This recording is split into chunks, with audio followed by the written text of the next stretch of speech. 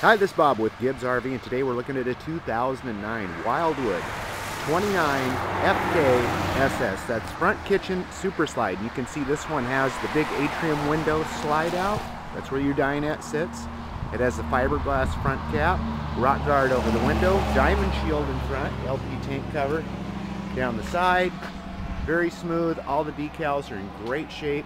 It has an overhead awning, two radial entry doors with drip guards a spot for an outside barbecue, stabilizer jacks in all four corners. Now this is a great alternative to a um, fifth wheel if you don't want to deal with the stairs. It has the aluminum structure and vacuum bonded fiberglass. Northwest package, additional um, insulation.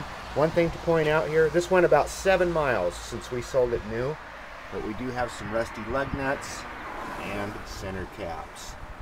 It's got aluminum wheels. It's got all the rubber it left here with. The thing hasn't been towed down the road really to speak of. On the back side, we've got rear rack and ladder. It is a crown roof. See, it keeps the rainwater running off. It has the rear bumper, diamond shield, spare tire. You have storage compartment here that goes under the bed. On the back side, there's our slide out view from the rear. There's also an outside shower. And like you see, there's no delamination down the sides. Now this was used as a winter home. That's right, winter home in Oregon. People were from the Midwest, so they'd come out here in the winter, spend a couple months, and then head back home. Look, look inside. Now this is a front kitchen, so I like front kitchens and I like rear kitchens. This is, I think you'll see why. It's spacious for one. There's that atrium window slide out with the freestanding dinette in the very front. Look at all that counter space. That's why I like the front kitchens because you have enough room to prepare a meal. Uh, just a lot of space here going on. You have all kinds of storage space.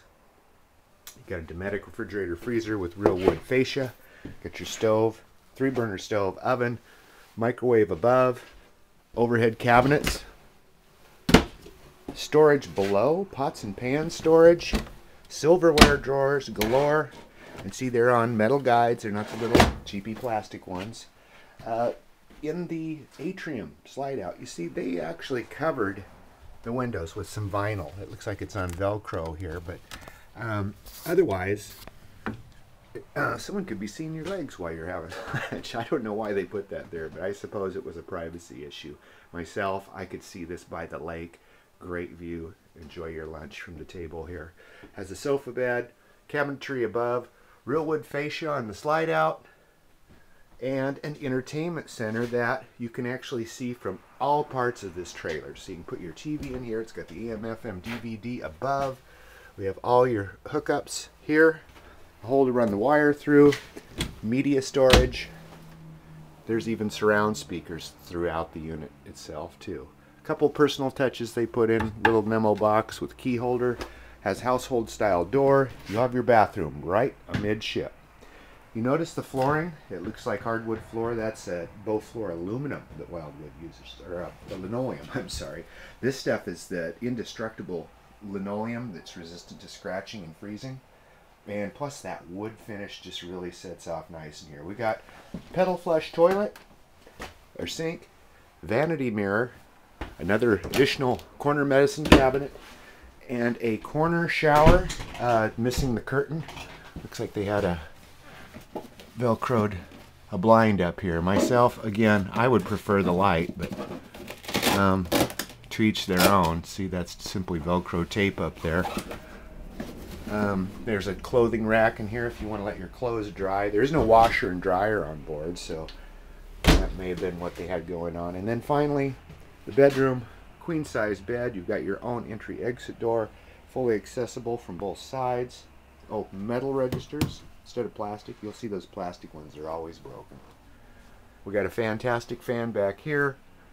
Dual wardrobe closets and drawers on each side with the overhead. So, summer cabin, full-time home, whatever the case, I could just see this on some recreational property as being a awesome place and uh, very low maintenance. It's a 2009 Wildwood 29 front kitchen with super slide travel trailer at Gib's RV in Coos Bay. 1 800 824 4388. Remember, we take trades, we finance, and we can even help with uh, delivery if you happen to live out of our immediate area. So give us a call at Gib's RV in Coos Bay, 1 800 824 4388.